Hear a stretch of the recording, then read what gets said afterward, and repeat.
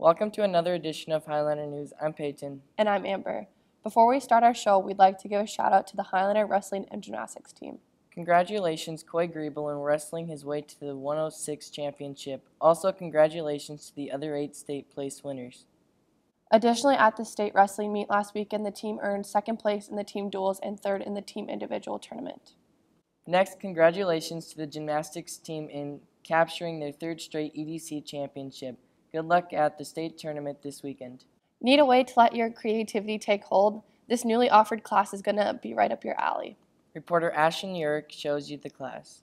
Uh, photography animation is a class that I started uh, with my seventh and eighth graders as a pilot class. Um, and due to kind of popular demand, a lot of the students wanted it in the high school section. Um, and so this year we were offering uh, the senior high version. And in the class, we do animations. So if you like watching Disney movies or anything that's animated, um, we learn how to create those. And because the class is called photography animation, you can't have one without the other. You can't have the animated movies without the photography aspect. So you have to learn those different, how to take correct photos and, and things like that. Um, I would say my favorite projects that we've done so far um, was we're going to be doing a food photography so the students get to bring in different food items and learn how to photograph them um, to do some professional things. And I love anything stop motion. Reporting for Hi-Liner News, this is Ashlyn Yurick. There's some competition cooking up in the kitchen. Four Hi-Liner News reporters accepted the challenge to prepare a pasta dish in 20 minutes. Along with a variety of pasta ingredients, they also had one secret ingredient to add to their dish. Reporter Caden Lloyd brings you the event. Four contestants all had one secret ingredient. Caden had chili powder, Kira had olives, Jordan had mushrooms, and Olivia had canned spinach.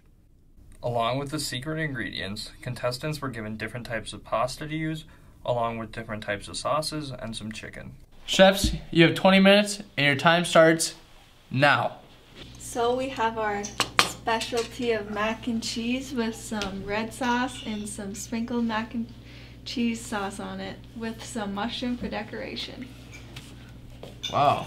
Thank you. Looks interesting. Interesting is definitely the word I would use. I'm actually getting the heebie Is jeebies. I don't want to cooked? eat it. Panic from sauce. Why, did I get... Why does it smell like. Do you put garlic on here? Okay, three, two, one. Um. It tastes like a five year old made it.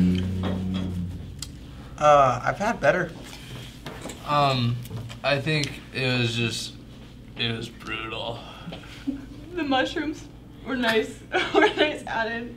I think you can drink the water. No, I don't. I'm not going to. Okay, ready? I mean, Oh, this we're- doesn't look bad. Tastes like cardboard.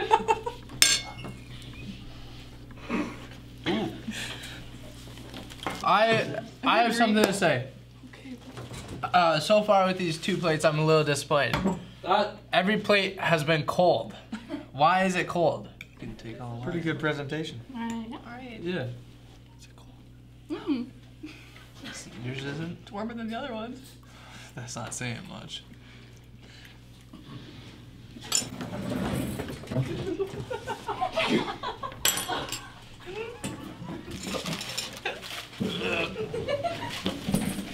I can officially speak for myself that I think I've tasted cat food that tastes better. If I throw up, I'm gonna be so mad. Oh my god. Okay, ready? Three, No, done. two, one. I'm not, I'm not. It didn't go in. I'm not doing it. It's so salty. I know! I didn't even put it in my mouth. I can taste the salt on my lip. Oh, it's like it's like salt water from the ocean. In fourth place was Jordan because everything was cold and it was raw and it had an interesting taste. In third place was Olivia. Okay. It uh, it was bad. It tasted like salt water. And the champion of VCHS Chopped is. Caden Lloyd. His dish wasn't good, but uh, it was better than the rest. From Hi-Liner News, this is Caden Lloyd.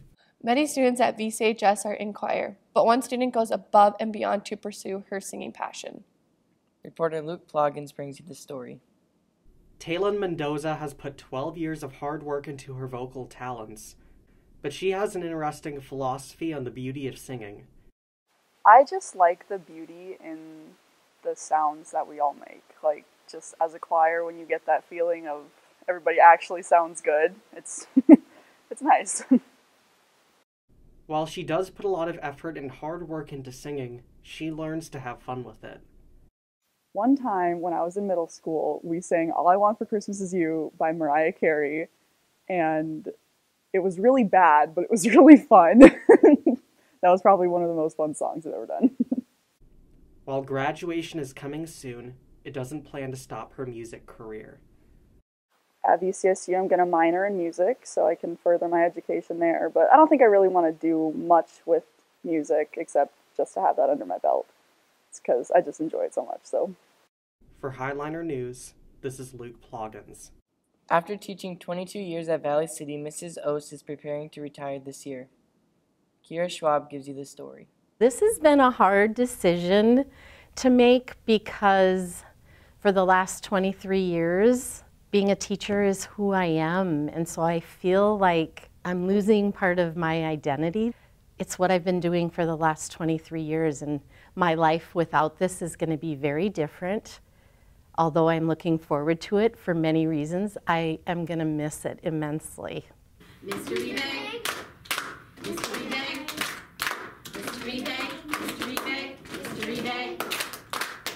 I wonder what is in there, an apple or a Care Bear, a basketball or high chair. We love the mystery bag. Mrs. Ost has a few plans for retirement. Probably to spend a lot more time with my grandkids. I have five grandkids that live out in the western part of the state, and so I would like to spend more time out there and help my daughters out when they need help a little bit more. But I do plan on subbing because my friends are all here. Um, I will miss them a lot, and I will miss the kids a lot. Mrs. Ost will have a hard time leaving her students. Teaching first grade is very rewarding because you see so much progress and growth in this age of kids. From the time we get them in the fall at the start of the year until the time May rolls around, it's amazing that the things we learn and the things that we can do. Reporting for Hi-Liner News, this is Kira Schwab. COVID has brought some new challenges that have become the new norm. Reporter Jace Thompson catches up with one custodian. Dalton has been helping keep VCHS clean for a couple years now. I get here about 8 o'clock every day. Um, I do the laundry for all the sports teams. And while that's going on, uh, refill Oxford bottles, the clean desks, um, the hand sanitizers all throughout the school, refill those. Then just general cleaning, maybe fixing a toilet, the new handless stuff kind of malfunctions sometimes. I like it said we got more we have hand sanitizers all over the school now oxyfers for every teacher that we have to check refill um, all the paper towels that they have for students and them to wipe off the desks. That's added. Just general night cleaning there's more involved with wiping desks and chairs and making sure you get the underlip of things. Just a little more detailing where people will touch. Uh, favorite is do, doing the laundry. It's kind of a chill. I can turn on some music and clean and fold and do all that. Uh, the worst? it's always got to be a toilet when it's plugged. Thank you, custodians, for all you do. For Hi-Liner News, this is Jace Thompson. There are some pretty cool shoes walking in the halls of VCHS. Reporter Carly Govan introduces you to the creator. Jared Egermont has taken up a new hobby of shoe customizing. He shares with us what sparked his interest. Our, our teacher, she had us do a wearable art project, and I always see posts on my Instagram of shoes, and I thought it'd be really cool to try it out for the first time. Customizing shoes has its fun parts as well as its difficult ones. My favorite part is just kind of talking to the person and trying to figure out a design that they like, and then seeing the final product come together and seeing that they're happy with it. The hardest part is probably like the positioning of the design on the shoes. Sometimes that's difficult with what they want. My first pair was my favorite pair, the Kobe ones, just because it was a really cool design and it took the longest and it was probably the most fun so far. Here's what you can do if you're interested in a pair of your own and any extra information you might need. They can contact me on my Instagram at just kicking customs and just send me a DM and we can talk about an order and what it consists of. Um, my pricing it's typically just on like the complexity of the design and how long I think it's going to take, and it's I'm pretty flexible with my pricing. Reporting for Hi-Liner News, this is Carly Govin. Thank you for joining us for this edition of Hi-Liner News. I'm Amber. And I'm Peyton.